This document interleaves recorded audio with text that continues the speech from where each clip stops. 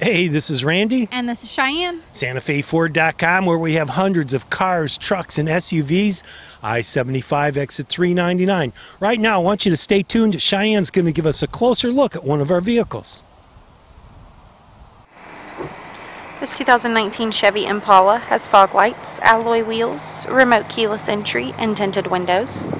For more information on this specific vehicle or to view this vehicle's Carfax, remember to visit us online at santafeford.com or give us a call at the number below. Now let's take a quick look at the inside. Here's a quick look into the front. These seats are black cloth with leather trim and the driver's side seat is powered. This vehicle is equipped with powered windows, locks, and mirrors. Here's a look at the dashboard. On the steering wheel, there's cruise control, Bluetooth, and media functions. This vehicle is a push to start. And on the LCD touchscreen media center, there's AM FM radio, a backup camera,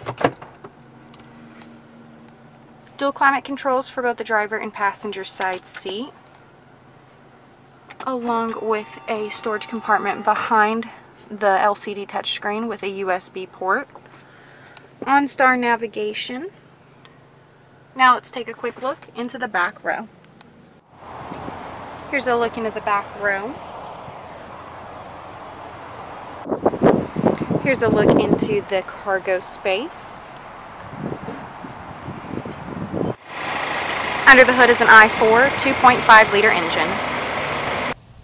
For more information on this specific vehicle, remember to visit us online at santafeford.com or give us a call at the number below. My name's Cheyenne. Thanks for watching.